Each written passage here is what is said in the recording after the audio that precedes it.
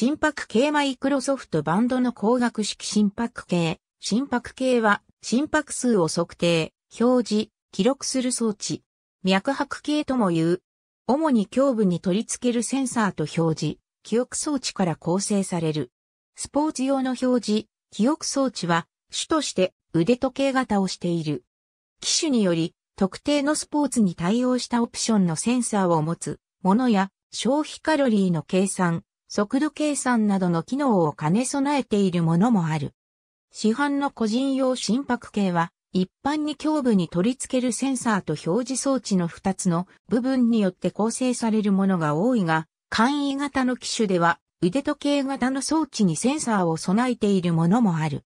最も簡単なものでは、小型の装置に指を当てるだけというものもある。胸部に心電図検出用のセンサーをつけるものがより正確な測定が行えるとされる。表示装置は専用のものは主に腕時計型をしている。その他にサイクルコンピュータ、腕時計型デバイス、スマートフォン等で心拍数を表示することができる。一定の時間内の平均心拍数、最大心拍数を表示したり、最大心拍数と安静時心拍数との差に対する比率を計算して運動の強度を示したりできるものが多い。パソコンやスマートフォンと接続してデータを転送できるものもある。胸部に取り付けるセンサーは電極と電池、送信機をベルトで固定するタイプがある。女性用の機種にはスポーツブラとセンサーを一体にしたものもある。機構としては、電極で心電図を測定し、その変化から心拍を検出し、心拍と心拍との間隔から心拍数を計測する。近年は血流量から心拍数を計測する光学式心拍計が登場している。手首に巻きつける単体のセンサーや腕時計型デバイスに内蔵される形で提供される。センサーから表示装置へのデータ送信には無線が使用される。独自規格の他に標準化された規格のアント、アントプラスや Bluetooth が利用されている。かつては同時に同じ機種の装置を複数の人が使用すると渾身して正確に記録できない場合があった。現在は個々のデバイスに識別符号を付与するなどして回避している。また、10人程度のチームのメンバーのデータを同時に記録できる機能を持つ機種もある。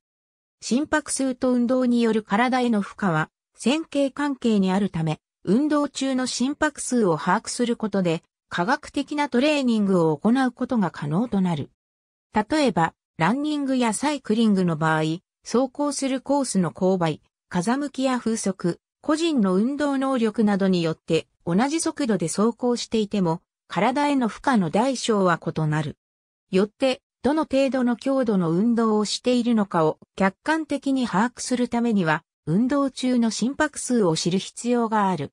また目標とする運動強度を心拍数によって定め、それに合わせて運動を行うことでトレーニング効果を高め、達成度を知ることで心理的にも積極的にトレーニングを行うことが可能となる。心拍数が一定の数値を超えると無酸素運動となっていることが多いため、無酸素運動で循環器や筋力の強化を図るのか、有酸素運動を行って体脂肪を減らすのかなど、目的に合わせたトレーニングをするにも心拍計の利用は有効である。また、限界の心拍数を超えて運動を続けると突然死の危険があるが、これを回避して安全にスポーツを行う目安ともなる。任天堂64のバイオセンサー任天堂64の拡張オプションとして耳たぶにクリップを装着して心拍数を測定するバイオセンサーという名称の心拍を計測する入力デバイスがあり Wii でも類似のデバイスが発売予定だったが実際には発売されなかった。ありがとうございます。